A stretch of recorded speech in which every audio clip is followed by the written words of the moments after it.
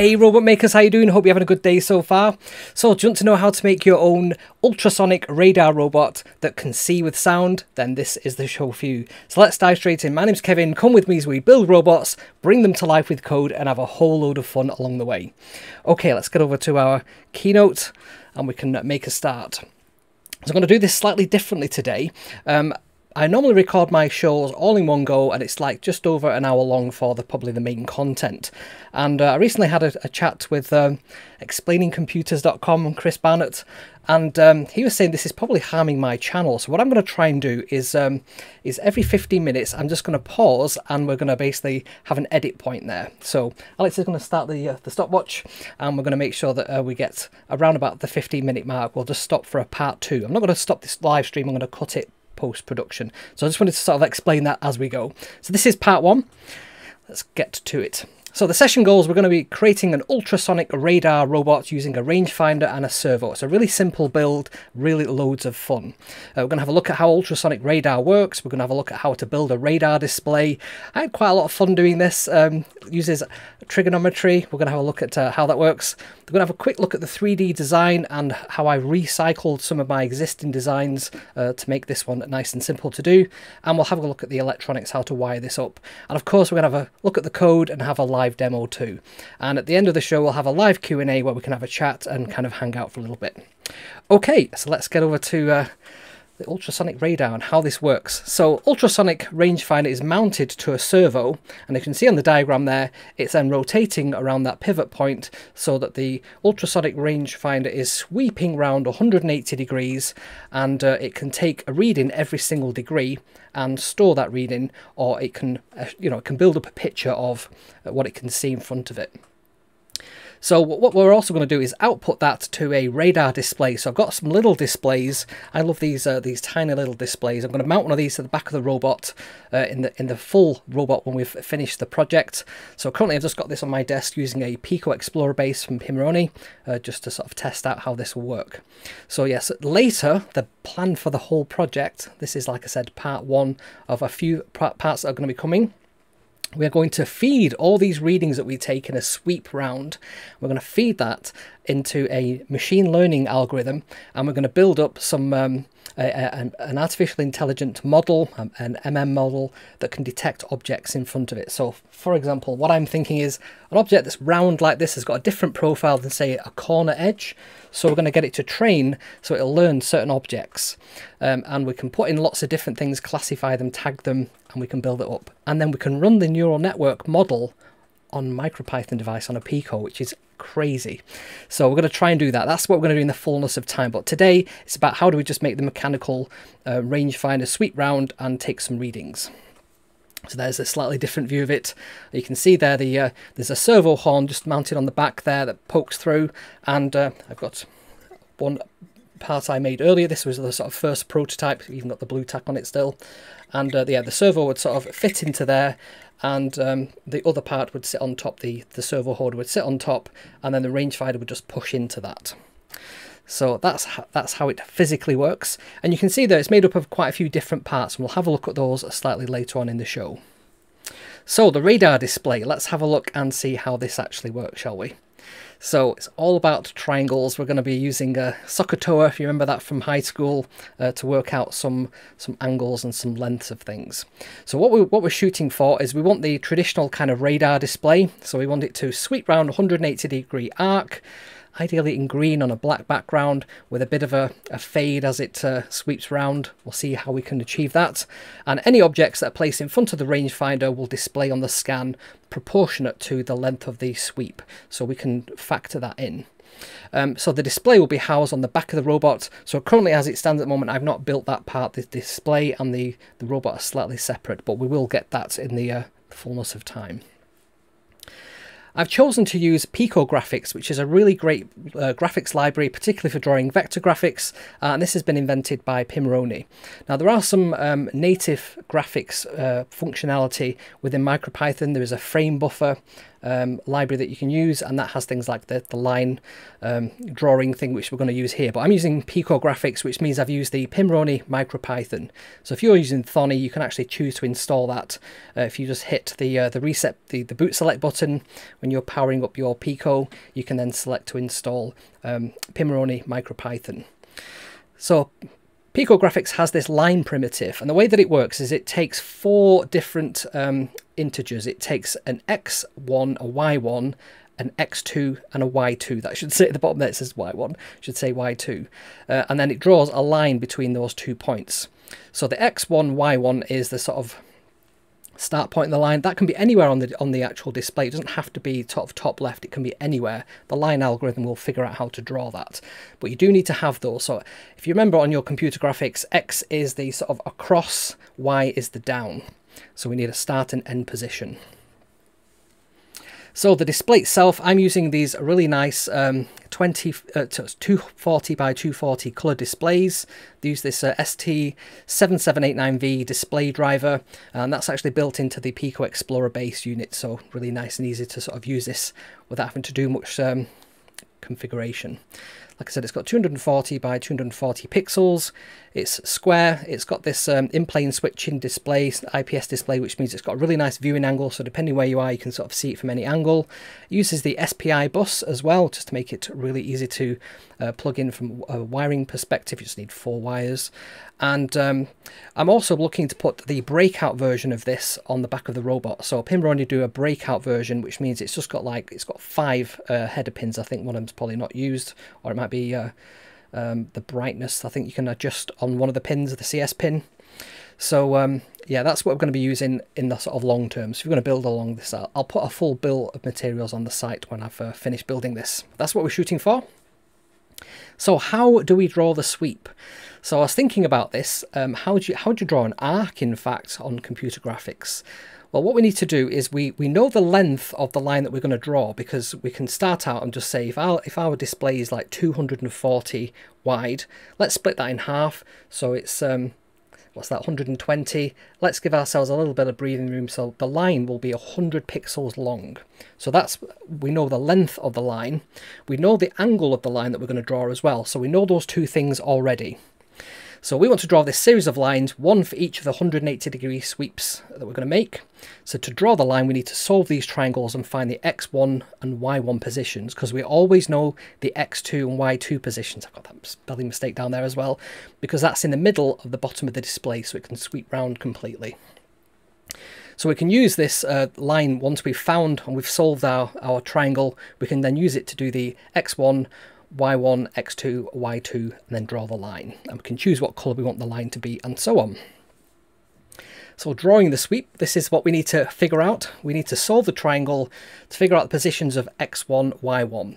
We know what x2, y2 is. Like I said, it's the, uh, it's the middle bottom of the screen. So y2 is the bottom of the screen. So whatever the height is, it's the very bottom of that.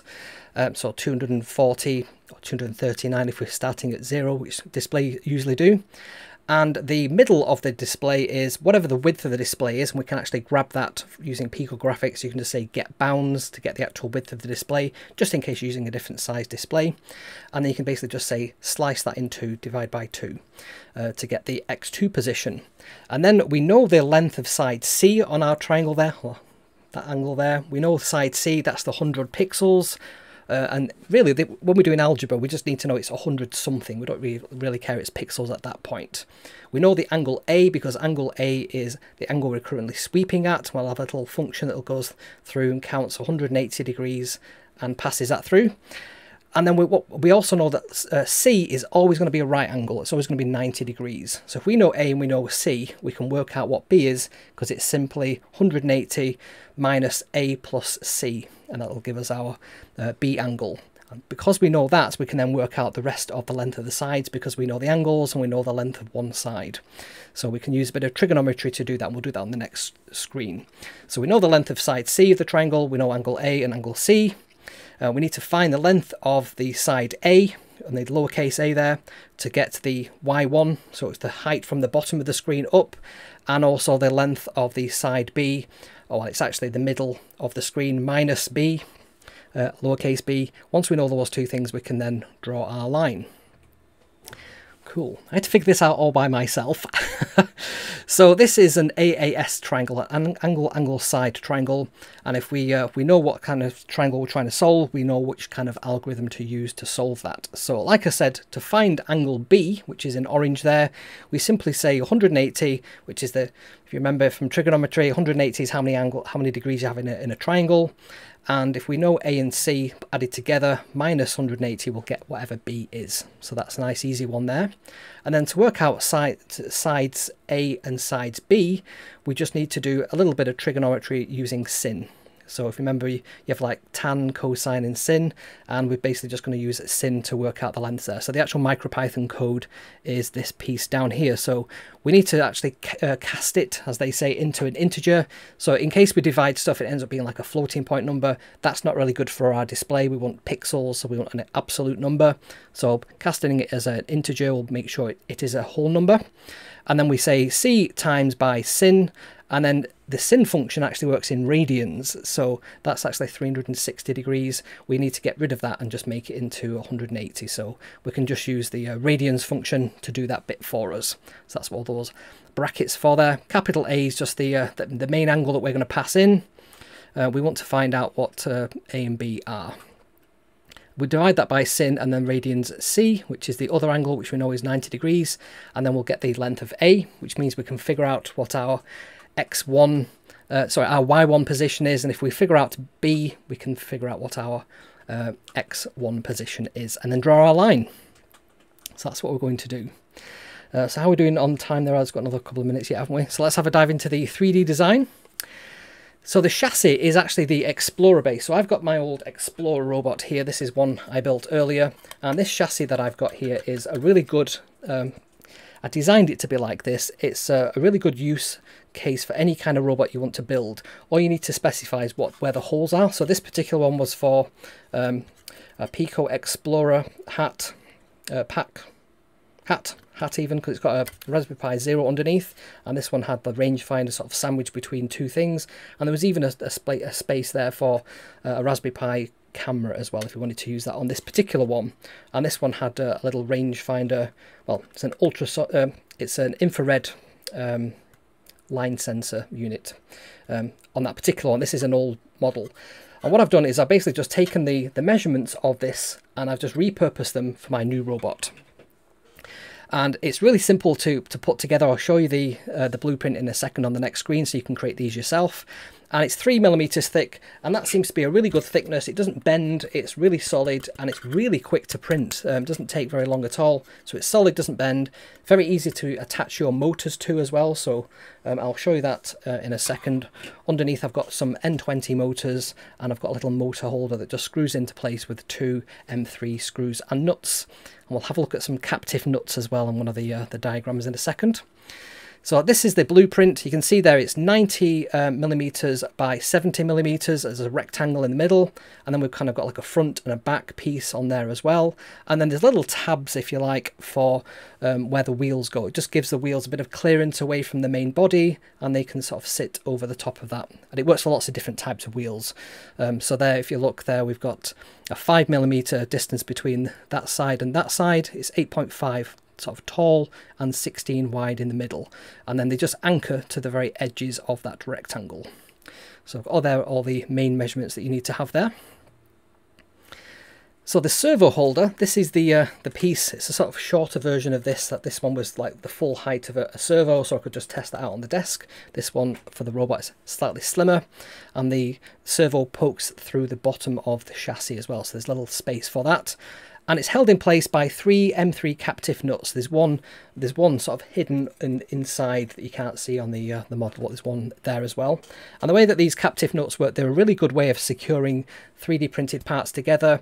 So you just have um, a little nut piece that goes in, so you've got a little hexagonal nut shape, and you've got the M3 uh, bolt that goes through the nut, and sort of two squished together. You don't have to over tighten them; they're pretty secure, and it really holds everything in place. So I really like including these in my designs. It's a really nice way of making things easy to print because they're separate parts. So yeah, the servo screws in from underneath. So I'm using um, it's a Tower Pro MG92B, which is this one here. It's almost the exact same dimensions as um, an SG90, the sort of cheaper ones. I've got a sort of slightly better quality one just because I wanted this robot to be as accurate as possible. And I found on some of these cheaper SG90s, they can be a little bit flaky. So I thought for this particular robot, I wanted a bit more accuracy. So I paid a little bit more for one of these. I've got a whole pack of them. So works with the MG90s, SG90s, the DS929 MGs, which I've used in other robots in the past, as well as these Tower Pro MG92Bs. Okay, so next is the rangefinder holder. Uh, that, this attaches the servo horn um, to the um, the servo horn attaches the rangefinder holder to the body and gives it that pivot point in the very middle where we need it to be. Um, what we do need to make sure though that is one before we actually put that little screw in place, so you'll get little little bag like this when you uh, you buy your servos, and there's a tiny little screw in there that you screw into the into the sort of spindle of the the servo, and um, that just before you do that, you just need to make sure that your servo is centered and the, your rangefinder thing is pointing forward. Now I have got my desk of bits here. Just unplug that. You can see the, the time there as well, which is good.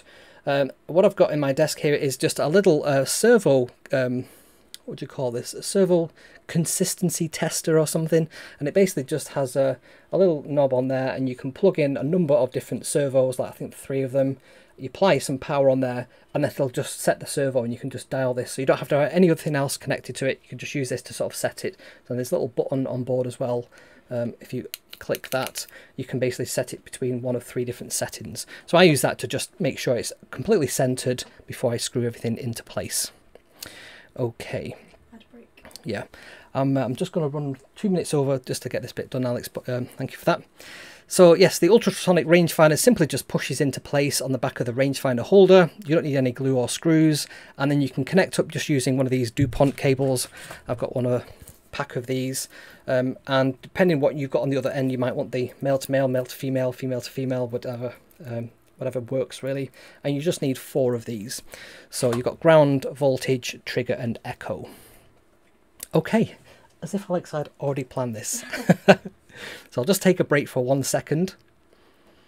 So welcome back to part two. So let's continue our ultrasonic robot uh, build and uh, let's get into the next part. So this is the electronics and wiring it up. Okay, so it's quite a simple thing to wire up. This is actually a diagram I've used on a previous robot. Um, trying to think which one this would be actually. Um, it's gone off the top of my head. It's probably one of the... Uh, which one would that actually be? That would probably be um, it will probably be the spooky scary skeleton robot that I built for Halloween. Um, but it's basically the exact same wiring diagram. So what we need to do the main things we need to take is the servo. Needs 5 volts. So we're going to take that from the the V-bus which is on the very top right of our Pico there. This isn't a great thing to do. What I'm going to do in later builds of this ro robot is have a separate power supply um, for the robot. And this will take um, a 5 volt supply rather than going through the Pico is what I'm trying to say. But for now, this works okay just on the bench. So we're going to take our 5 volts from the from the V-bus into our servo. We're going to take one of the grounds from the Pico into our servo as well. And then we just need one signal pin. So on this particular diagram, I think I've got that down as pin, what was that, pin 15, something like that. Um, I might change that in the code later on, but we just need one pin and we just make um, it's either on or no, it's not. It needs to be a pulse width modulation. So it just needs one. But I think all the pins on a Pico are PWM, so we can basically just pick any GPIO pin that we wish for that. Then for the rangefinder, we need one of the rangefinders, which is the 3.3 volt uh, compliant ones. So these are still called HCSR04, but they usually have like a P or an L on the end. I think P for like, or P or L for low power. Um, they have an extra couple of chips on the back. That's how I recognize them. If you have one of these and it doesn't seem to work, you've probably got the 5 volt version and it isn't designed to work at 3.3 volts. So um, just make sure if you when you're ordering them, it is the 3.3 version. They usually have like I squared C and um, SPI connectors on there as well. You'll just see some little writing on the uh, the printed circuit board on the silk screen. So from there we need the 3.3 feed. So I'm taking that from the 3.3 feed on the Pico there, which is like the fifth pin down. We take any of the grounds. Um, I could have taken another ground and had that ground over there whichever we like and then we just need two pins one for trigger and one for echo um, so on this particular diagram I've got the trigger uh, going to pin uh, pin 1 and the echo going to pin 0 I think on my code later on I'm using GPIOs 4 and 5 for that but um, it doesn't really matter just as long as you know which you're using there. I always think about, I'll have the trigger as the main one I need to think about. It's always easy to get these mixed up. Um, and that's pretty much it. We don't need anything else at this point. So later on in our robot build, we are going to be powering our wheels. And I've got a bunch of these uh, really cheap uh, H bridges. Um, these are really, really cheap to come by. And I want to keep this robot as cheap as possible. Um, so these ones, if I can show you there, I think they're called an L298N um, and that's what they look like. And they have they have a power in, and they also have uh, another four uh, eight pins, so two for each motor, and uh, well, it's actually four for each motor because there's like um no two for each motor output, and two for each motor input. There we go.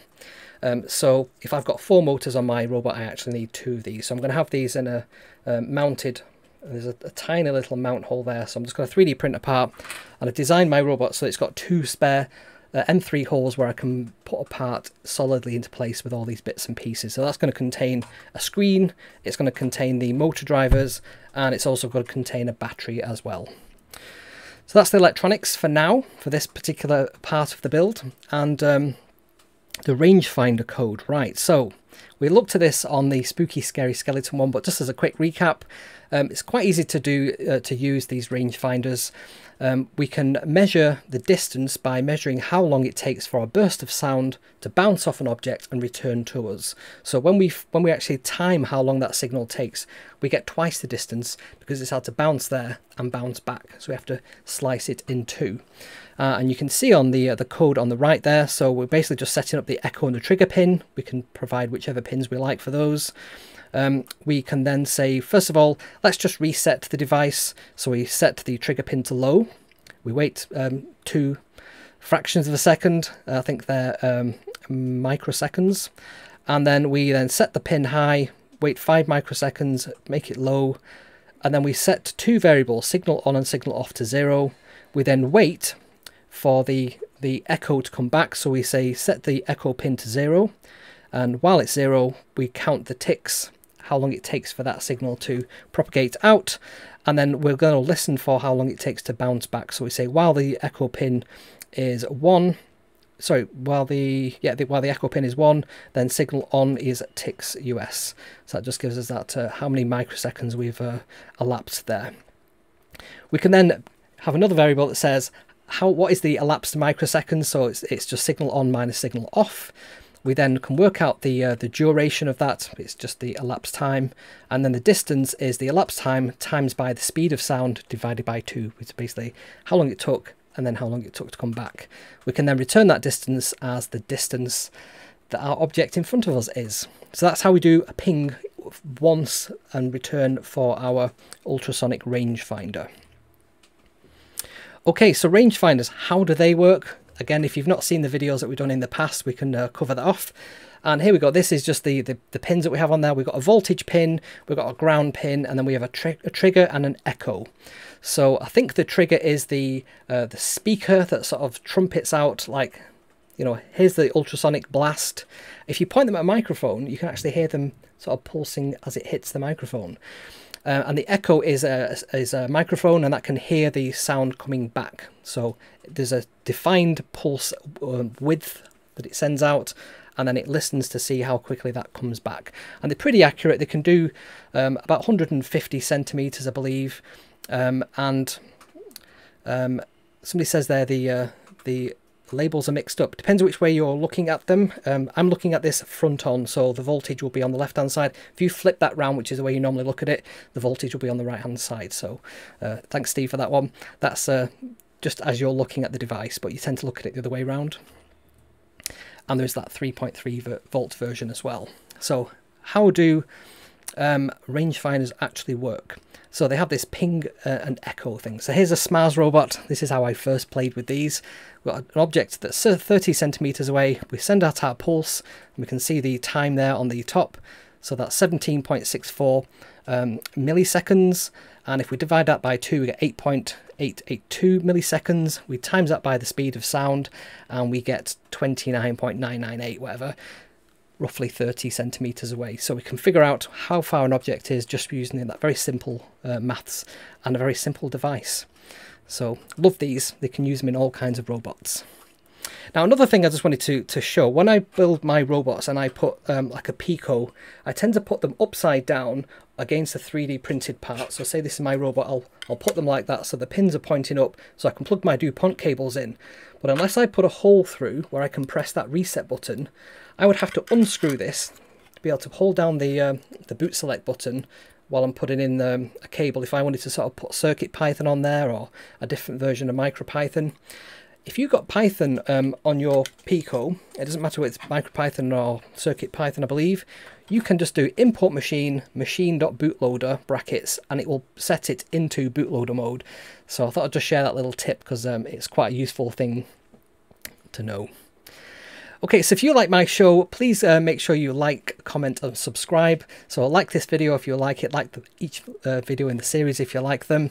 Uh, drop me a comment, let me know if this is something that you're going to look at. You're going to have a play with yourself, making an ultrasonic uh, radar robot. And if you've not already subscribed to the channel, which I think about 80% of people haven't yet, subscribe, costs you nothing, and it really helps grow the channel and I go live every single Sunday at 7 p.m. GMT. Um, so if you want to join me and have a bit of a live chat and hang out, then that's you know what to do there. We've got quite a few people uh, hanging out with us today. I think we've got the highest number I've seen in quite a while. Okay, so this is a uh, part three. So welcome back to part three of the ultrasonic. Let me say that again.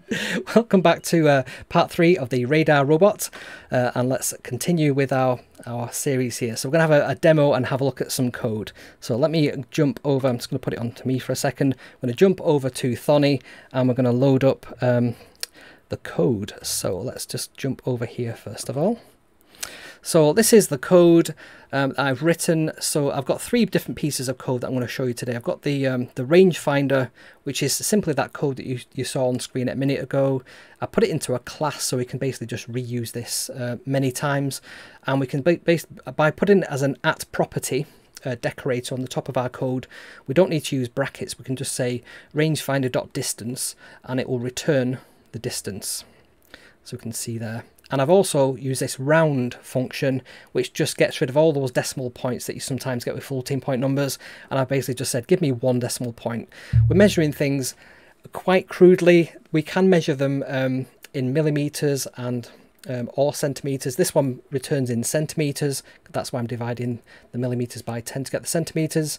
And um, I'm also um, I'm also rounding that up to one decimal point just because it makes sense to have it with that granularity. So there you go, returns in centimeters. So I'm going to use that rangefinder function. I do need to make sure that rangefinder um, code is uploaded. So I need to do upload to, and then I've already got it on my Pico here. Um, so if we go to our radar code, this one is just going to make it sweep round and display on the display all the different um, all the different readings. Um, so let me just talk you through this. So we're importing servo. Servo. Remember, I'm using the Pimoroni Pico um, MicroPython build, so it has things like the servo class built in. Uh, and it also has Pico graphics built in, which we'll use in a minute. We're going to import time because we need to use the sleep function quite a bit. I'm going to import the rangefinder uh, object, the class that we've just uh, seen a second ago. I'm going to set my trigger pin to 2 and my echo pin to 3. I'm going to write out all the readings that I take to a data file.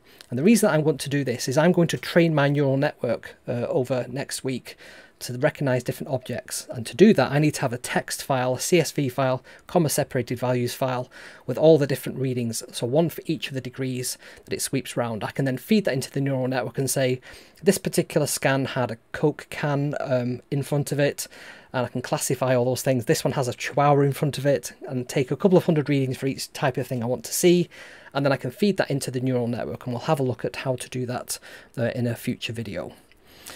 Uh, the next two things, so I've got S, which is our servo. So I'm going to start it off on being pin 0. Remember when I was saying which pins I've got this connected to? So that's GPIO 0 on this particular one and I've got the rangefinder there. I'm just setting up the trigger pin is uh, GPIO 2 and echo pin is GPIO 3. So I just need to remember that when I'm uh, plugging this in. Let me just make that adjustment on there for when we do our radar in a second. Okay, so then we're going to, I've got a function here for take reading. So I've got an array that's called readings and I say with open data file and we're going to um, append to this file and it's a, binary file. So we then basically just say for i in range 0 to 90. So we're going to start in the middle and we're going to go, um, which way would it be? To the right perhaps? Uh, it depends which orientation the, the servo is and then we're going to basically just loop around there 90 times. We're going to set the, the servo to whatever the current i is, which is the degree we're sweeping through. We're going to print out to the terminal what the distance to the current object is, what the angle we're currently sweeping around at, and what the count is as well. I think I use count. Um, where do I use count on there? I'm not sure what I've used that for.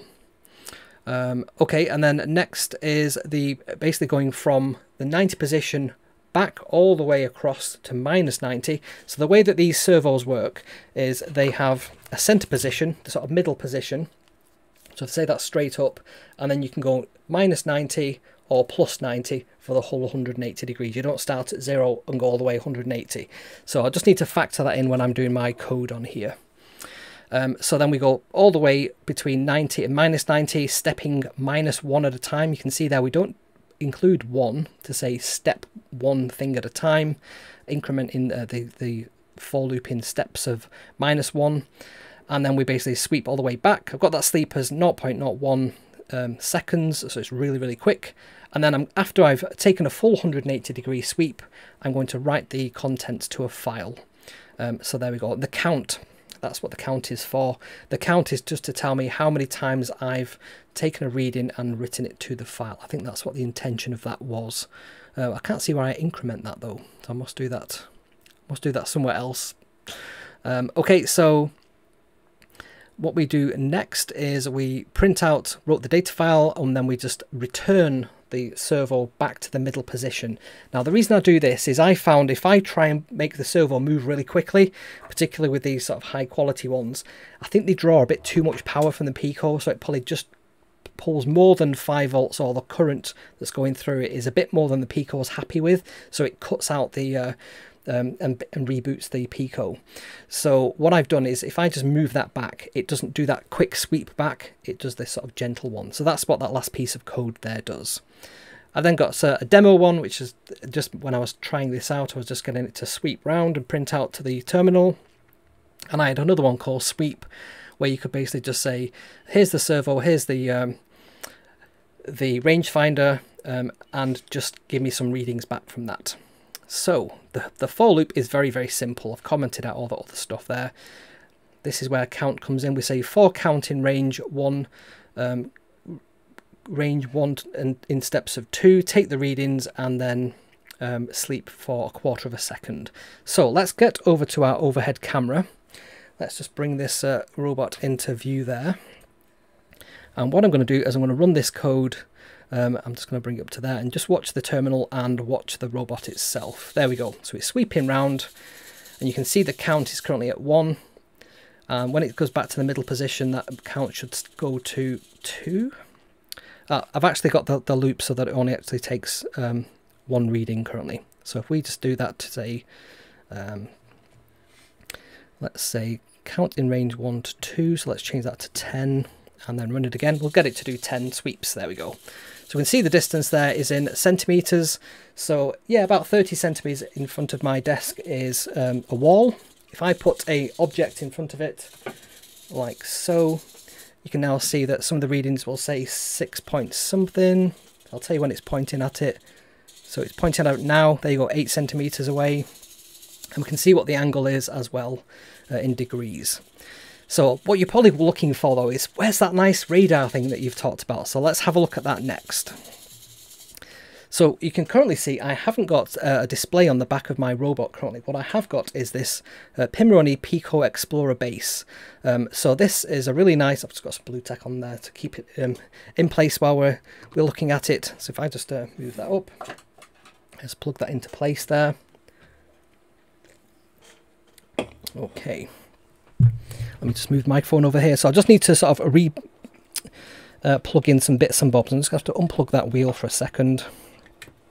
Plug that into this Pico down here. The right orientation. There we go. And let me just put that in place. And I'm also going to have to pull out our rangefinder and have this plug in from from here instead. So let me just grab my robot. And let me just make sure I've got this right. So the yellow should be the 3.3 volts.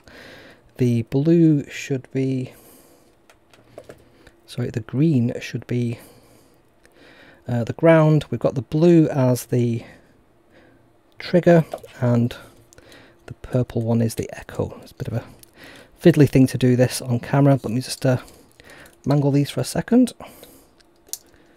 So that's going there. What did I say the trigger was? Blue. That's the main one. There we go. And then the purple one is the echo and the green is the ground. Right, we just push these into place.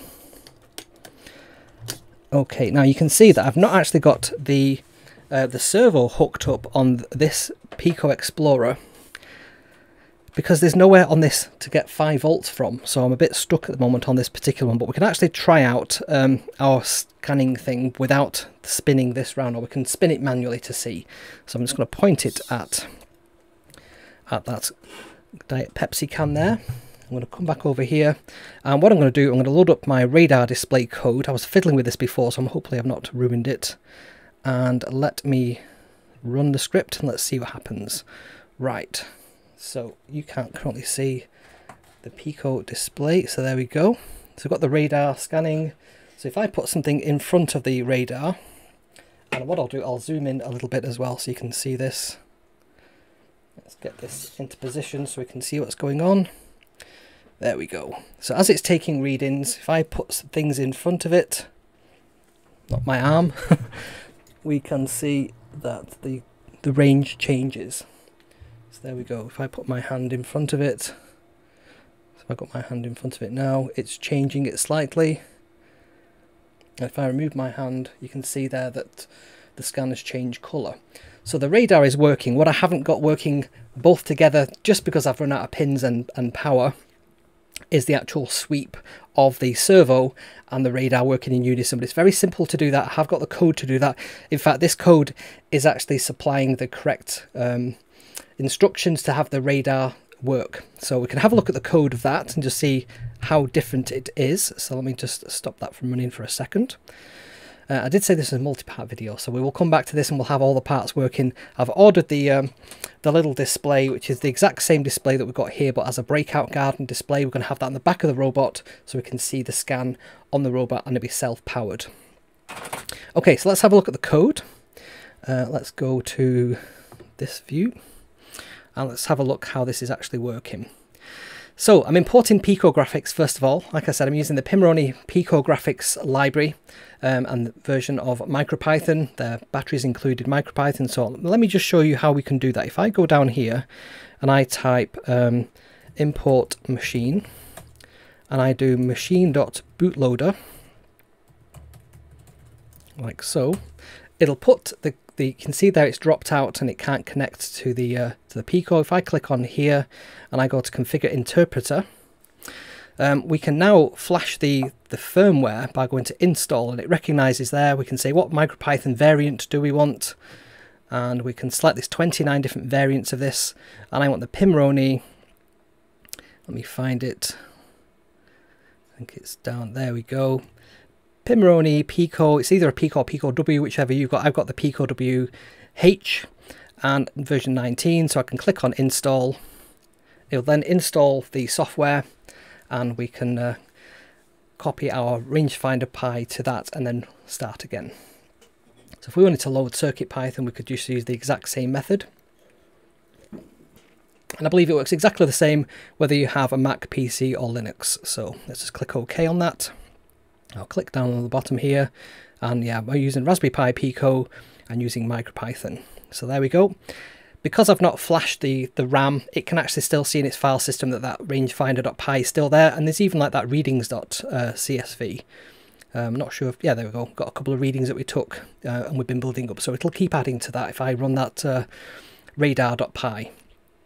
So let's go back to our radar display. So we're importing the Pico graphics and I can even tell it what kind of display because it's a, a, a Pico, um, because it's a Pimoroni uh, product, they've already classified all their different displays uh, as a constant there. So display Pico Explorer, uh, we can import that and then we can set it up down here by saying display equals Pico graphics, Pico display Pico Explorer, and we can even set the rotation of the screen. So depending how we have our, our screen mounted, we can very simply just change the rotation degrees in there, like 90, 270, 180, and it'll be the correct orientation for however we have that mounted.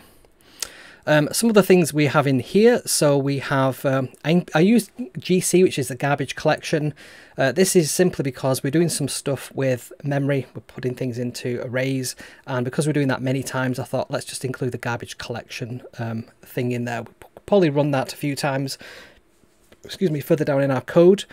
Uh, we, are using the math library, so we're bringing in sin and radians, bringing in time and sleep, we're bringing in our rangefinder library that we created earlier, uh, we're bringing in machine and pin, and the servo library as well, which is a, a Pimoroni um, MicroPython.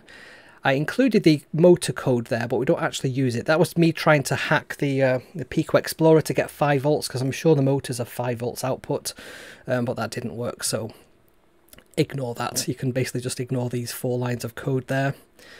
Um, then the trigger, we're just setting the trigger on the echo pins like we did before. We're setting S and R to be the servo on GPIO 0. We're setting up the rangefinder to have the trigger and echo pins.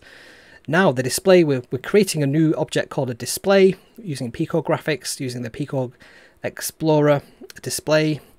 We can get the width and the height of the display by doing display.getBounds. The next section here, uh, we need to create something called a pen when we use Pico graphics.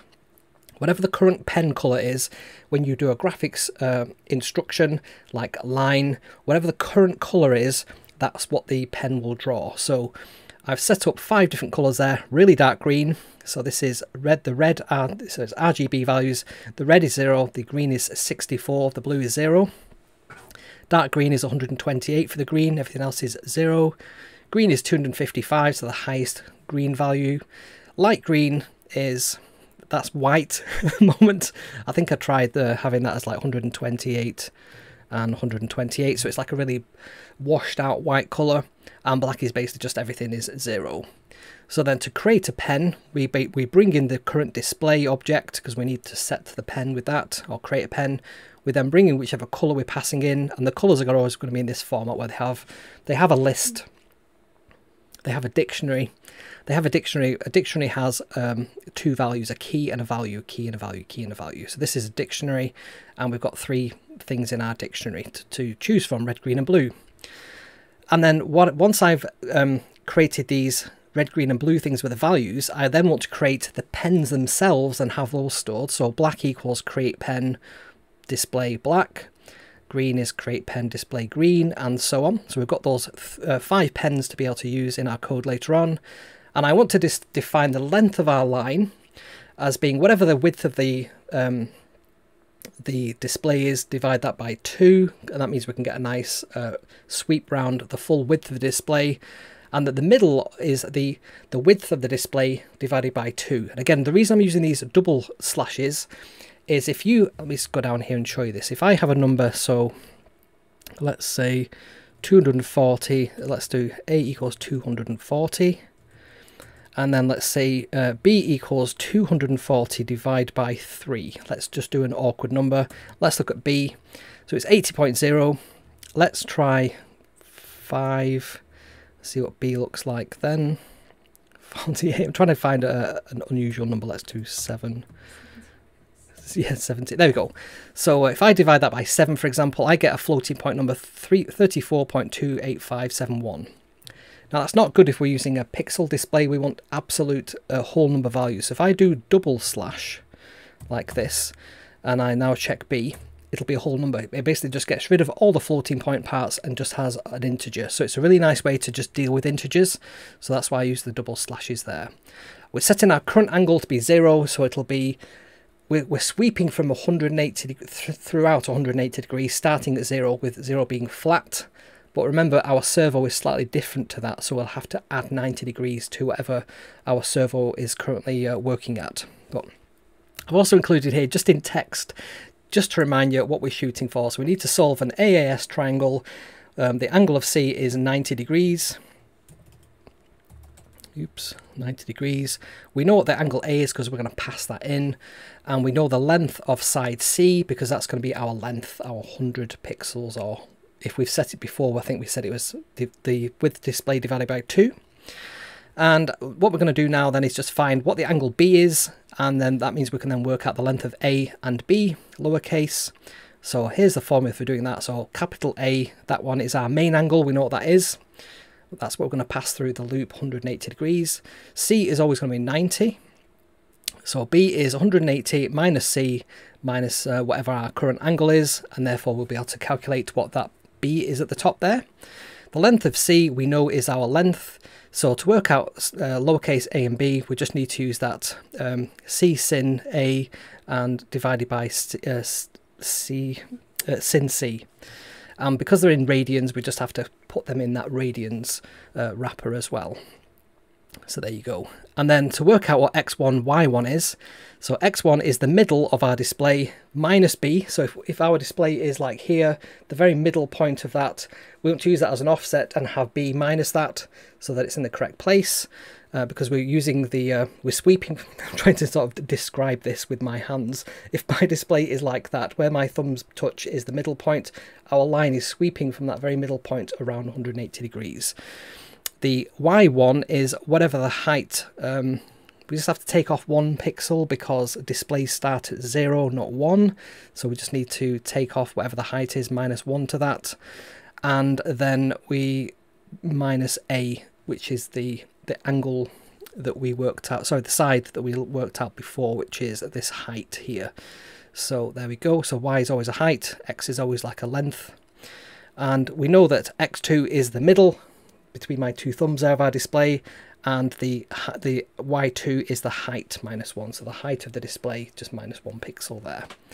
Okay, so then we can return x1, y1, x2 and y2 from our little calculate vectors thing and then we can do some stuff with our display. So we can say angle equals 1, the direction is true because I want it to uh, sweep round and sweep back. I found that if I didn't sweep back nicely, the servo would just go all the way back to zero and that would cause a spike on the Pico and it would just re reboot the Pico. So that's why I've got this direction thing which is just is it going forwards or is it going backwards? That's that's really all direction does. So we set our servo to whatever the current a value is. So a is currently one. So our, our um, servo should be set to one degree. And then we set the distance equals to the whatever the rangefinder distance is currently. So our, is our rangefinder. And then we say if I've got three bits of code here and they're just going to check if our angle is greater than 1 or 2. And this is how we get that trailing edge. So when we sweep round with our radar, we want it to leave behind some pixels so it looks like it's sort of fading. So we need to do that with a couple of different colours. So I've got really, really dark green and dark green, and then the main piece of code is our light green one down here. And what we're going to do is we're going to overwrite, um, we're going to draw a line, and then we're going to overwrite it um, with the length of the distance that we're detecting. So if we draw a solid white line and then we overwrite that with the distance from the very bottom to the top of the object that's in front of us, we can then basically erase that and just have that top bit be the really bright bit, which is where in our sweep we've detected what we're looking for.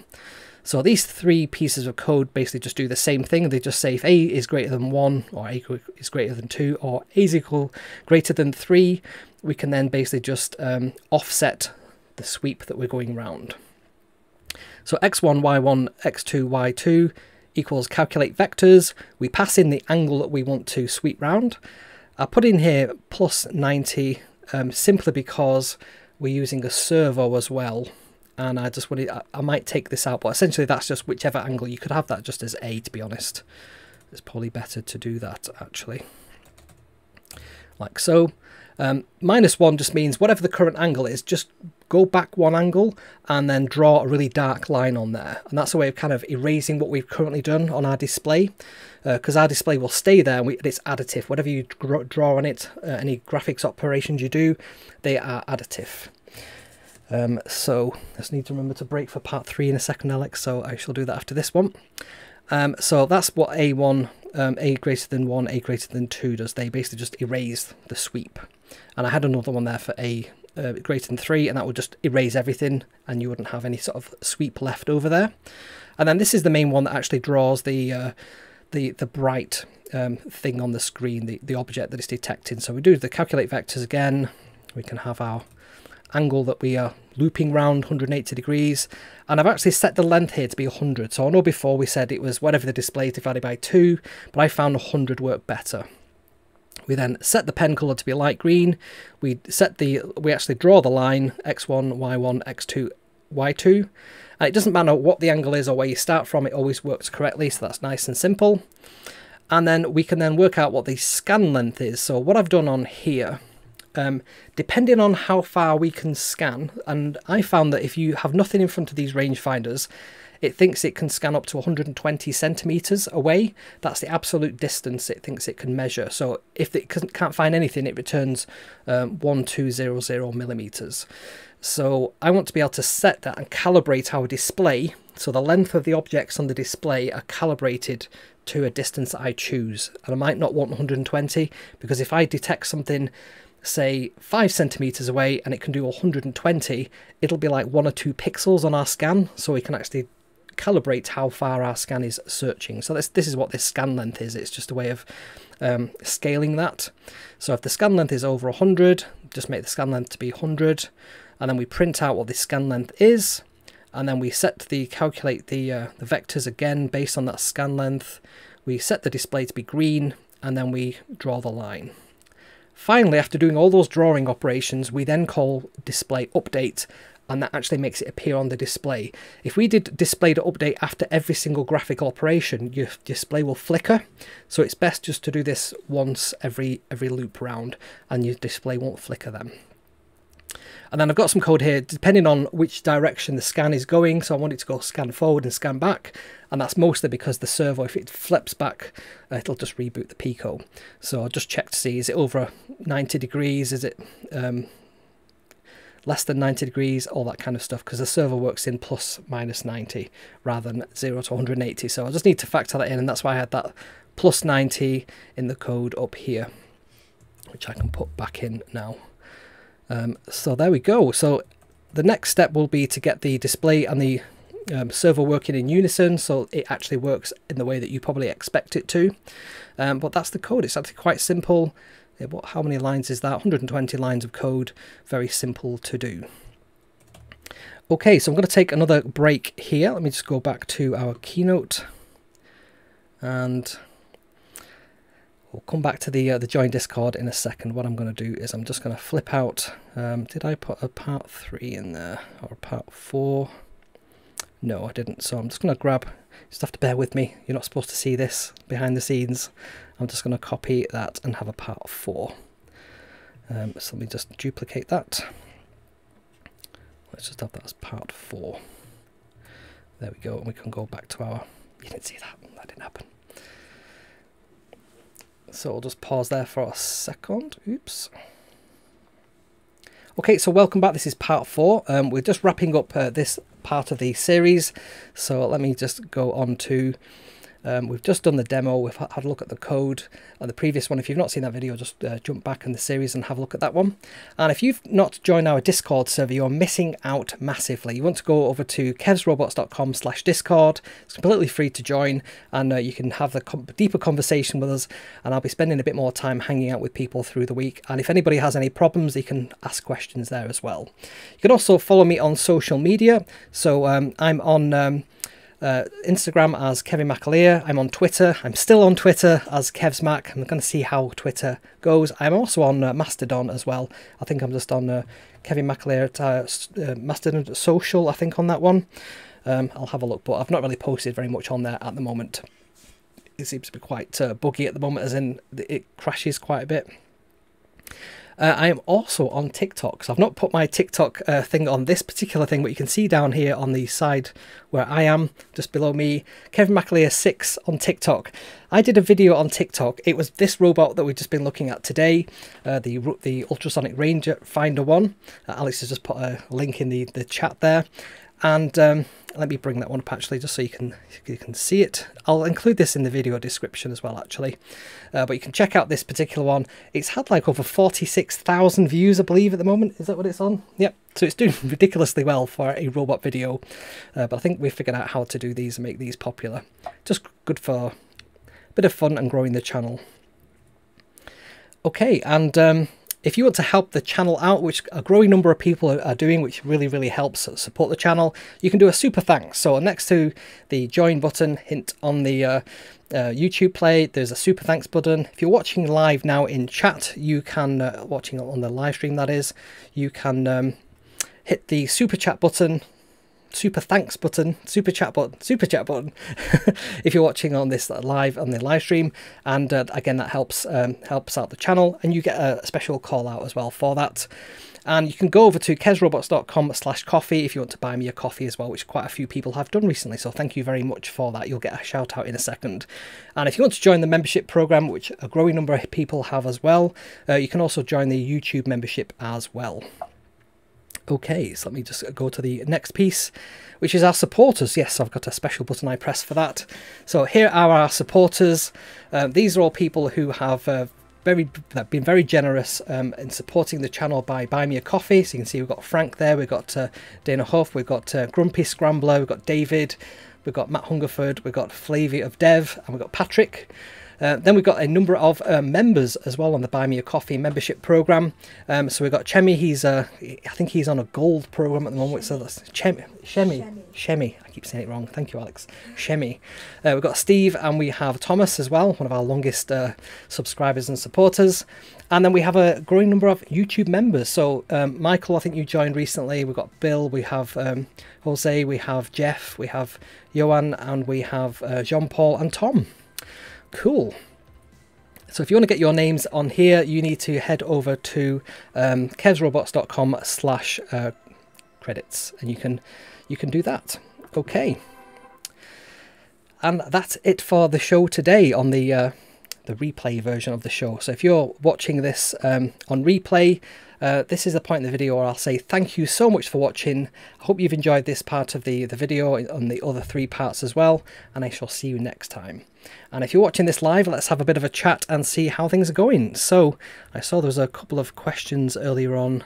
I know Richard posed one. Where was it? Let me just find it. Da, da, da. I'm just going to scroll up to the top there quite a few comments going on here. This is good. And I'm nearly at the top now. There's been a lot of comments. Here we go. Okay.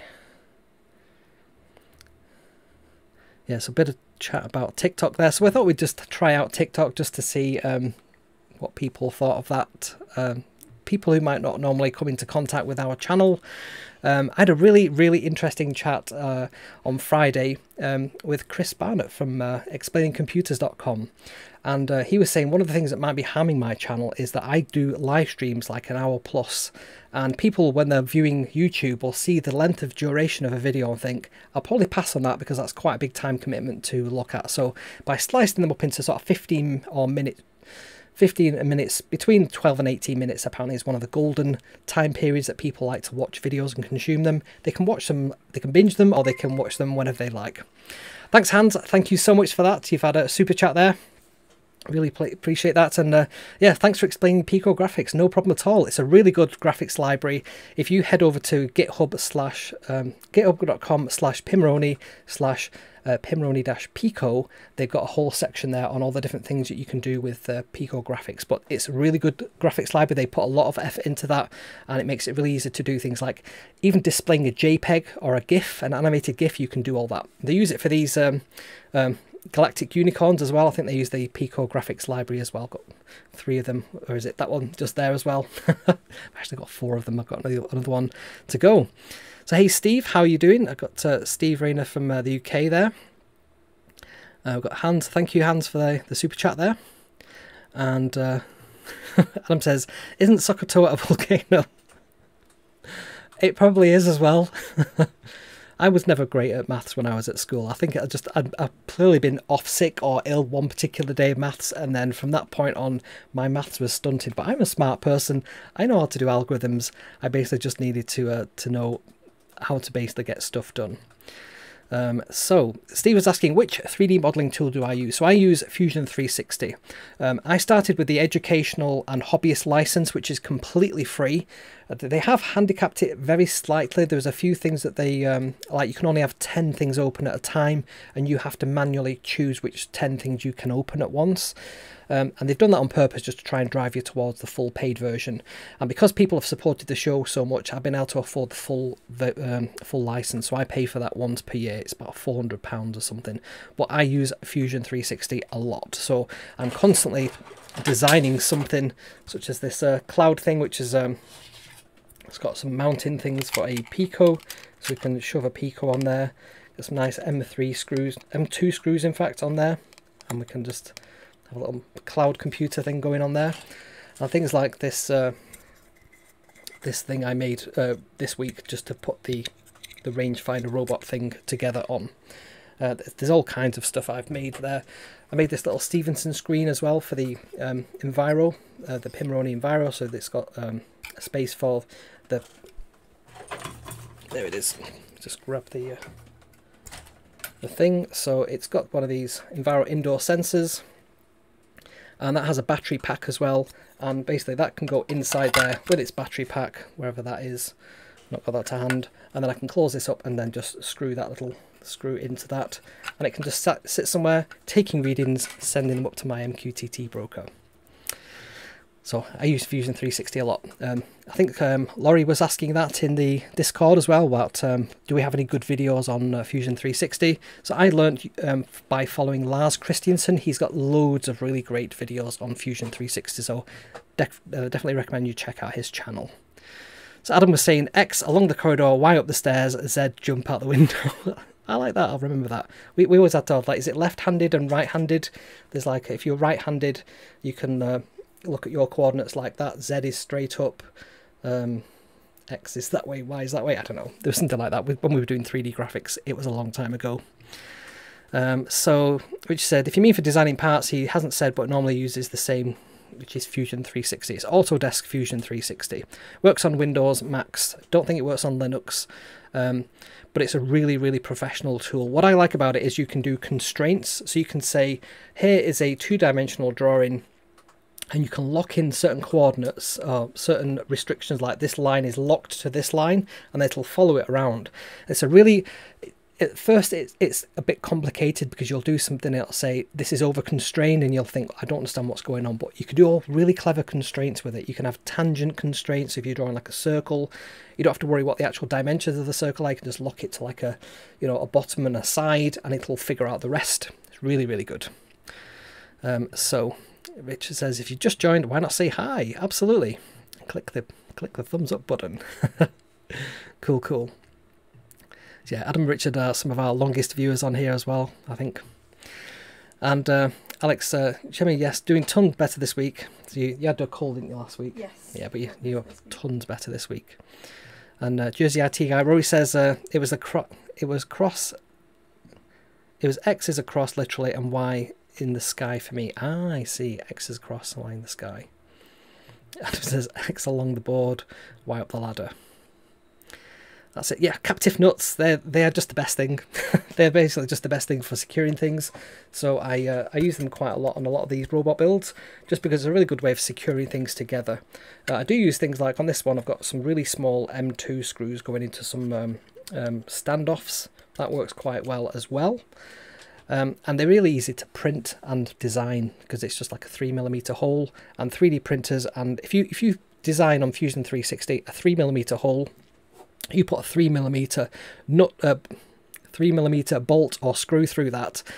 The 3D print will be ever so slightly thinner than that, so you get a bit of grip, and it'll basically just tap the the uh, the plastic and hold it in, probably without even a nut on the back. But if you want it to be really secure and you've taken it apart and put it back together a few times, you probably won't have that nut there. So captive nuts are really good.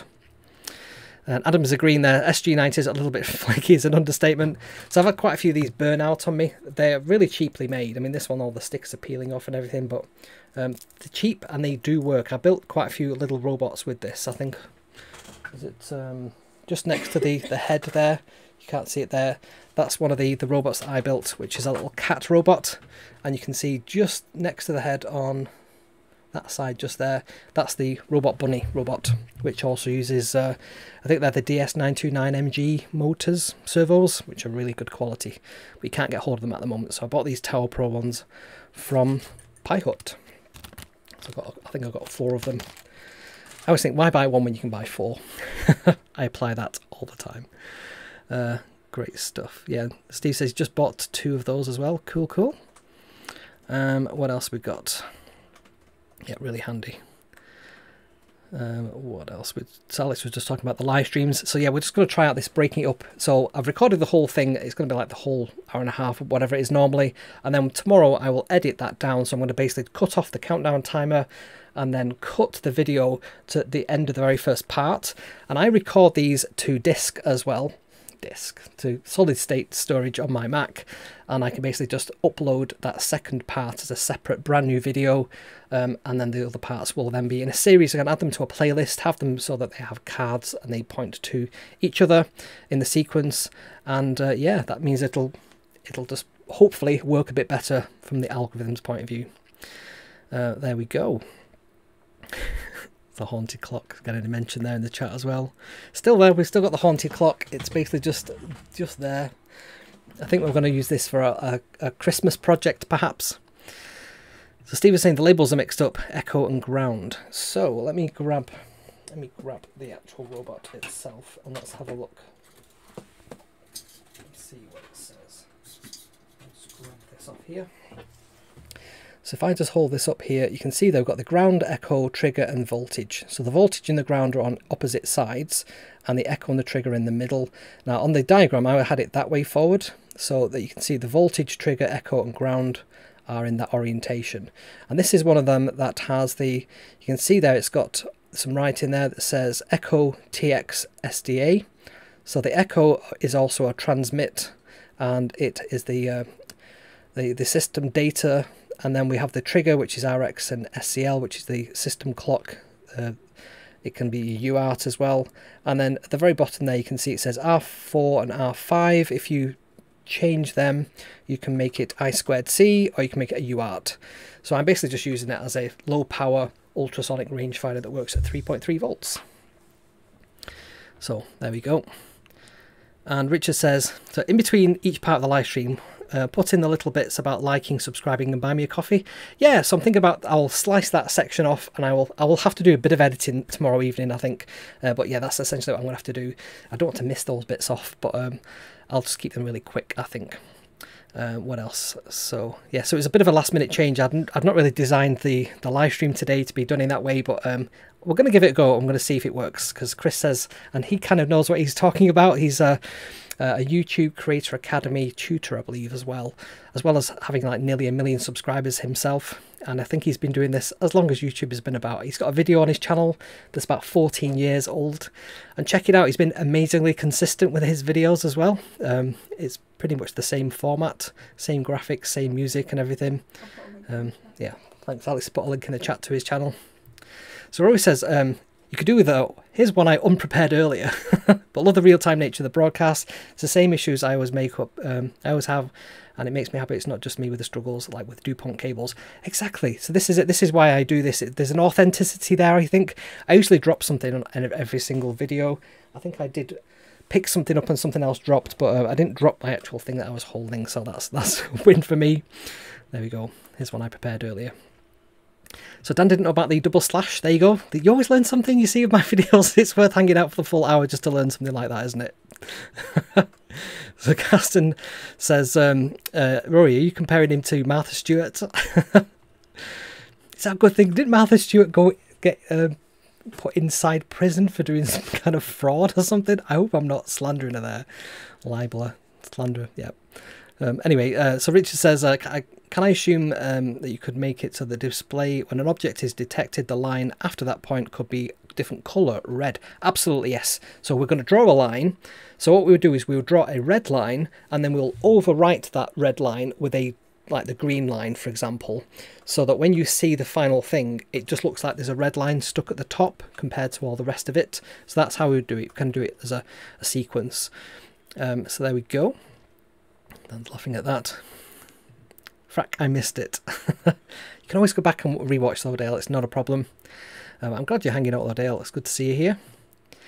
Uh, and what else have we got here? So let's just put another link up to the TikTok. You've got to check it out. It's just a silly video, but um, it's just the number of views it's had is ridiculous compared to the rest of the videos I have on the channel, on the TikTok channel.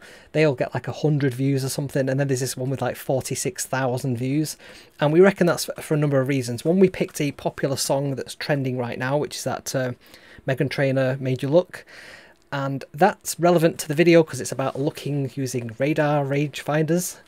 We use that uh, robot AI text to speech voice as well, Jessie I think she's called. Uh, that draws people in, that has a familiarity on TikTok, so people have heard that before. It seems like a, a regular TikTok video, and it's quite short as well, and it cuts quite fast. So I think that's the three reasons it did really well. But uh, Dale does not care for TikTok. I can understand this. Um, one of the things I've struggled with as well is shorts. YouTube Shorts is now how people find your content. So that means that we have to do shorts and they're really difficult to do well because if my show is like an hour and a half long, how would you condense that down into 15 seconds of something of value? It's really difficult to do. So uh, Alvin says, oh, I missed it. You can go and rewind, it's fine. we'll be waiting for you. So Dale's internet's sucking as well, and that that's where Hans did the super chat. Thank you so much for that. Uh, Adam says hello, uh, hello Dale. You're not alone here. And uh, Dan says, I like the idea of splitting the videos up into multiple parts. It definitely helps people like me who have 10 minutes here and 10 minutes there between chores. Absolutely, yes. So we're going to try this and see how this works. Um, and we might still do this on a Sunday where we do the full live stream in one take and then we just split that up throughout the week. So you might see duplicate. Because I have seen some channels like... Um, what's the one I, watched one called Plainly Difficult, which is always like about disasters and stuff. I don't know why I like that, but I like watching those ones. And he does like an omnibus at the end of the year, and he basically just gets all these videos back to back in one big edit. Um, so if you've seen them before, you've basically got duplicate stuff on the channel. So it's kind of like doing that, but um, in reverse, really, filming the whole thing and then slicing it up. So Rory says, um, uh, ever Ever thought about speeding up the build by combining laser cut and 3D printing? So I need a laser cutter, that's what I need for the studio. We are thinking about getting one, it's just kind of where to put it. So um, this is about 3 by 4 meter space. There's quite a lot of space in the middle here, um, but on each wall there is just basically desk space. So unless we get rid of Alex's chair, which I really don't want to do because where would Alex go?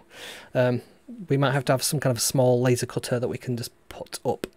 And I would have to it's a wooden structure so I would have to make sure I watch that like a hawk uh, because I know that there can be fires with laser cutters. Um, my friend Simon Monk who does Monk Makes he had a bit of a fire with his laser cutter a while back and it's it looks a mess but he did it in a building that was you know like a brick building so there was no issues there. But yes um, yeah so uh, says uh, your base would have been three millimeters um, would have been minimum of um, cut at three millimeters MDF yeah it's a good thought that. But uh, yeah, you might want to check out that um, that Explorer build, you know, the chassis and using that as a design. It really works well. So if I just grab my robot there, it's the exact same chassis. Um, you can see on this one here, we've got the motor holders in place and the N20 motors, but I've currently not got them soldered in place yet. So these are just here waiting for me to do the last bit, which is putting these little motor drivers on, on this back piece here and also somewhere to put the, the battery. So I've got a whole bunch of bits and pieces on here um, to do that. I just grab these bags here, got my Pimoroni bits and pieces. So I've got the uh, Amigo Pro, the LiPo Amigo Pro, which is really great for doing um, from LiPo batteries to um, devices. So you can charge your LiPo battery and you can also just send out 5 volts, which is what we need for the servo. Um, got a number of Picos with um, the header pins on and got another couple of those uh, Pico Lipos, and then what else have we got there? Pico Lipo shim. So this Pico Lipo shim is really great for uh, taking um, motors, oh sorry, taking um, a battery and connecting it through and powering it that way. But if I'm using the Pico uh, Amigo, the Lipo Amigo Pro instead, I don't need to use it. I just need one of those and like a Galleon battery which I've probably got somewhere hanging about, but you've seen those Galleon batteries before. Probably have one on here somewhere, but yeah, they're a small battery, a small LiPo battery, 3.7, and it'll it'll upscale that to 5 volts. Before you move on, did mm -hmm. you catch the comment from Dan makes things in between the stand? Oh, did I not? It got deleted by accident. I don't know if you can uh, There you go. That one? Did you read that one? Yes, yes, yeah, yeah. Thanks for that, Alex. Good, good. Um, hey Todd, how's it going? I've uh, not seen you on here before, so good to meet you. And what else we got? Da, da, da. So, plus one for Lars, absolutely. So Lars Christensen, absolutely great YouTuber and very knowledgeable about Fusion 360. I think I learned everything I know about Fusion 360 by watching him and just doing stuff. Um, I would basically just sit down and I would try and make something in Fusion 360. So, for example, I just set myself little challenges like um, recognize which film this is from. It's a little telepod little teleporter thing. That's a really complicated design to design in Fusion 360. It's got all different types of elements. So there's like a, a circular pattern there of little fins. There's like, it's got a curvature. Uh, there's different bits that stick out, these fins that are on here.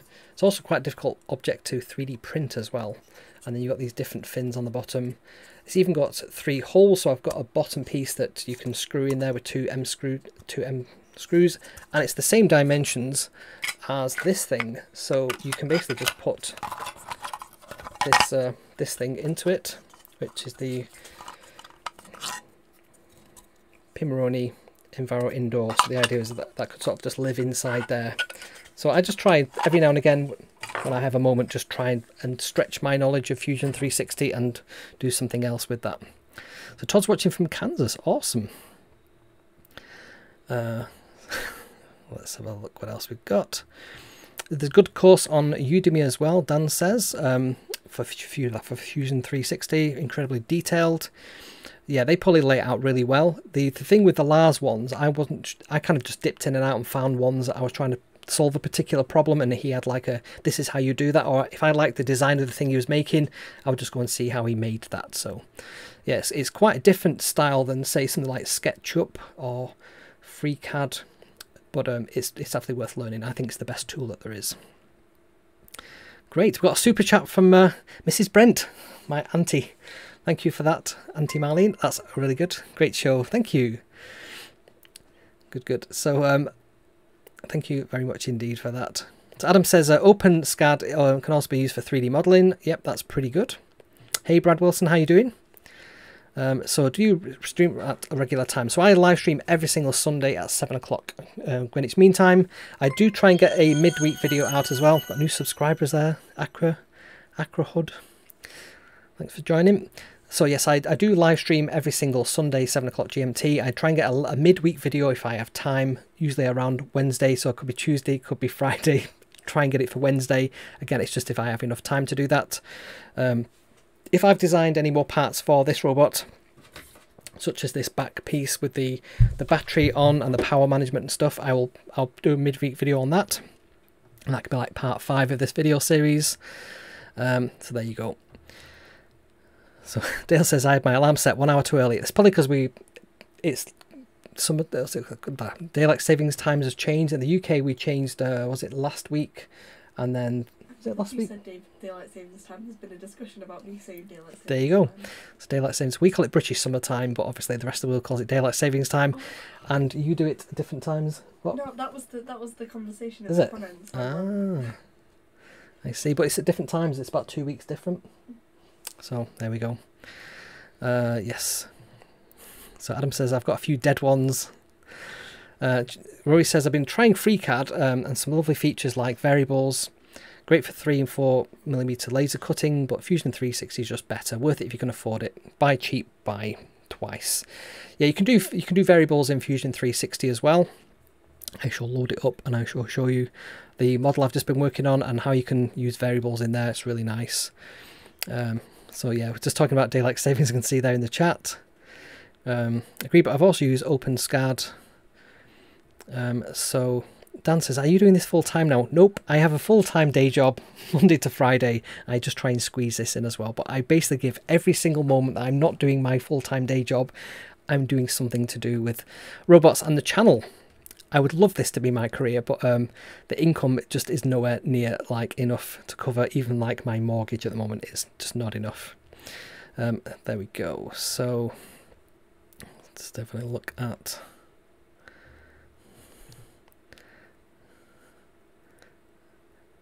so Adam's saying, tut tut tut, UK doesn't have daylight savings. That's an American thing. so we have British summertime. It's the same thing. It's an hour shift. Um, arbitrarily at two o'clock in the morning one day, you just go spring forward or fall back is where I remember it. Fall, that's an American term as well, but that's what we use for. We it Remember it? Did you? Yeah. Watch it change. We were in the kitchen. We saw it. Yeah. Right, so I've got my other screen over here, um, Fusion 360. So there's this little FX button over here. If we click that, we can add in uh, variables. So if we if we said um, I don't know whole, and we say that that is two millimeters. We've got the, the unit there is two. I can click OK, and then if I just create a sketch on here, create it on there. If I do C for circle, I hover over that little bit there. See how it changes to like a little square? That's that means it's like locked in place, and now it's looking for a dimension. So if I just type in hole, you can see there now that oops, I didn't actually select. I'm going to do D for dimension. In fact, I'm just going to double click in that thing there and just type in hole, like so. Okay, so our hole now is, if I scroll into that, there we go, it's two millimeters in size, which is absolutely tiny on this uh, zoom level. There we go, we can just about see it now. So there we go. So if we go back into that uh, parameters thing, we can change that and make it like five millimeters and then click OK. And we can now see that that's changed. And if you wanted to have like another one in the middle, for example, you can say D for dimension and you can say whole divided by two and it'll be half of the whole. You can do all that kind of stuff. You can also do things, if I do L for line, if I have a line over here, line over here, line over here, a line over here. See how that line's a little bit wonky? I can straighten it up with this uh, vertical horizontal thing. Um, if I click on here, I can then do like a, a tangent to this this uh, circle and that's now locked in place so I can move this around but it will always because of that little tangent constraint will always be connected to that. So you can do things like um, just make all these tangent to the circle. Let me just do that again. Click on that and then that. Click on that and then that. Click on that and then that and then now I can basically just stretch these lines out and as that little circle there touches that see how it's got that little square that appears that means it's now locked in place and there's now like a constraint there see these little constraints there they are these coincident constraints so you can basically build up your your object just by using these constraints. They're really, really powerful things. So if I do this, let me just finish this off and I'll show you why they're powerful. So I'm just going to connect that one up there. I'm going to do the last one down and then this one across here. Lock that in place. If I go back into my um, my parameters thing and I change this now to 4 and I go OK, everything because it's using constraints and variables has resized correctly. I don't need to do anything else. Everything's like locked in place. Now it might be that I want to make this outside box. If I double click it will chain select everything that it touches. And if I press X it'll make it like a, a line type. It's now a construction line. So you can't see that when you're, if I finish the sketch and I zoom in on that and I do like E to extrude, oops, I think I just made that slip away then if I just zoom back in there there we go and I just pull this up again I can type in I could do whole times two and then we get whatever that is and then we've got like a part going on absolutely love it and very very quick to do things like you know if you want to do a a, a chamfer on there you can just say how many um, was that a chamfer that was a fillet a, a, a chamfer is like more angular, isn't it? A fillet's a lot round. Um, yeah, you can do all kinds of stuff like that. It's like a bullet, yeah. And if you wanted to um, have a number of bullets, rep, you know, repeated, you can basically just do like a circular pattern. The reason it's jumping in and out like that is just because of the software that I'm using. It's trying to keep everything on the screen, and if something slightly goes outside that screen bounds, it, it sort of resizes it. Uh, right, so if I just click on that there, and then it will say what's the axis you want to spin this around. I mean, this isn't really going to work without me having a different axis. Let's just go back into the sketch and then let's just do like a little thing off to the side here. And then let's just bring that sketch back. And let's just extrude this up a little bit just so we've got something to, to repeat round right front. And I now do a circular pattern. I grab that body there. I grab the axis as being the middle part there. I can then say with this little control thing how many of these objects I want round. So you can basically just like, you know, have 12 objects round, something like that. And there you go. How cool is that? You can turn off your little sketches and then you can do things like render out um, a really nice rendition of this in like photorealistic. Generative design is for solving problems. Basically, just give it what the problem is and it'll work out different designs based on the uh, limitations you provide.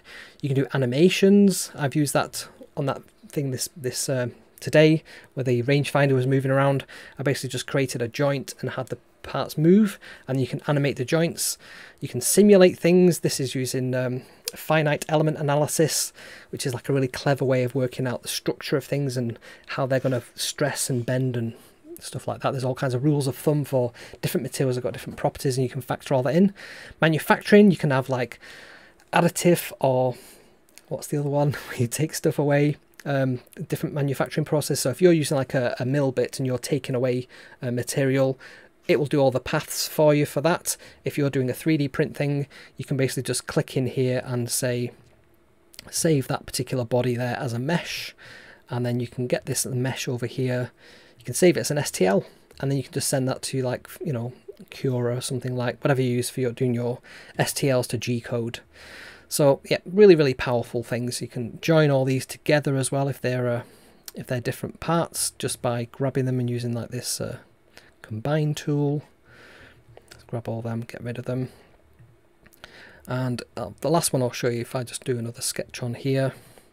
So if I wanted to make like a SMARS robot, I just remember these like religiously, the dimensions of this. If I go uh, 70 by uh, 52, I think it is. If I just end that sketch, let's just show the sketch. And let's extrude that out by 32. And then a SMARS robot it's got some nice fillets around the edge. It's got four, I just push there and then there, they're all four. And let's just grab each of these edges like so. And then we have a shell. So we have like a two or three millimeter shell like so. And you basically just can create an object very quickly doing that. So it looks like the one that Laurie created. She did like a nice um, storage box with um, some screw things in. And then you can use these new surfaces to create new sketches on as well. So you can use them to do further stuff. So yeah, I love Fusion 360. It's really, really powerful. Okay, so let's have a look what else people were talking about. Uh, so Lois says, uh, yeah, Martha went to, to prison for insider trading on the stock market. I did not know that. I knew it was something to do with uh, money, but I didn't know it was insider trading. Interesting. So, um, oh, Chris has got a really nice voice. He's uh, he's very good. I, I love what he does. Uh, so Dale says, uh, it's not proper stream until Kevin drops something. It's so true. Absolutely. So Laura says, I believe she got in trouble in prison for hide uh, for trying to hide spices for making food nicer. yeah. Rich says, Chris reminds me of TVs from the 80s like him. Absolutely. I love his, uh, his style of presenting stuff. Uh, so Adam says, uh, again, garbage is American, rubbish is English. You say potato. you say potato. I say potato. Tomato, tomato. I, I like. Well, there's some comedian talking about that about how like American language is quite quite straightforward. Like like we have pavement in the UK. In America, you have sidewalk. It's where you walk, and it's on the side of the road. It's like really descriptive. And um, Eyeglasses. the eyeglasses. That's right. And then the other thing was horseback riding. How else would you ride a horse like hanging underneath or something? Yeah, there's a really funny uh, video if you search that on YouTube about somebody talking about horseback riding and pavements and so on. Can't remember who does it, but yeah. Uh, Adam says, Rich, I agree. It's kind of like a how it's made video. Uh, I had to explain to judging. I had to explain to a judging. Okay. Um, He's, re- he's redone that one. Ah, I see. So Todd says, I prefer long videos. I am, am I in the minority? So apparently so. Apparently it's harming my channel's growth that I'm not doing much shorter videos because mine tend to be quite long ones. The midweek ones are much shorter. And obviously I'm doing a few short as well. Um, but yeah, mine tend to be because they're like, I'm showing you how to do something, they tend to be a bit longer. So Richard says, uh, I had to explain to a judge in LA what snookered meant during a court case. Awesome. Yep, snookered. Uh, so Dale says, I need to get my 3D printer working. I need to design some adapters to control mount, uh, to mount control boards. Uh, says I'm now up to 41 or 51 videos on my electronic kit, but they are all under four minutes each. How are you doing on that then? I shall have to check them out, Adam. Um, so it depends on the content. Something like this needs to be longer. I agree. I, th I think there's some things you could rush them, but let's try slicing them up and just see how that goes. This is still going to be there, but um, just as four separate pieces. So is it a build sequence? Uh, you can buy you can buy self-triggering fire extinguishers, which people should invest in for laser cutters. Absolutely. I have got a smoke alarm up there as well, just in case. We need a Pimoroni X Kevin McAleer project uh, with a build video. So I do do their intro videos. I need to record one for the uh, Galactic Unicorn they've launched recently, and there's a, a secret one as well that I think um, somebody teased recently. I don't think I've got it on here ever. Um, I think G teased it the other day. I think it's in a box actually. I'm not going to give it away. I'm going to show the box. That's far cooler. Where's it gone? I had it here a moment ago. Ah, well, you'll just have to. Yeah, you'll probably have to not know what it is. But yes, a new Pimoroni product, which is really cool. So Adam says, uh, sort of following an instruction manual that isn't very instructional, but aimed at teaching kids electronics. Not recommended purchase. Cool. So uh, Dale says I scored four Pico. Uh, I always get this wrong. Four Lipo Amigo Pros this time. I probably should have ordered more of them. Yeah, they, they were not available, were they, for quite a while? So that's why I ordered like a ton of them as well, because I think I use them in every project now. They're just really good. They just do the trick. And because they're based in the UK, it's really quick for me to get hold of them as well. I know um, Adafruit do like the Power Boost. They're quite good as well. Um, what else we got on here? Da, da, da. So Dale says I prefer at least 15 minutes for build sequences. There we go. There's the super chat from my auntie. Thank you for that. Uh, Dale says I still want to get Galactic Unicorn, but I had to prioritise. I'm getting my Pimoroni order Tuesday, and I'm waiting for some DigiKey stuff as well. Awesome.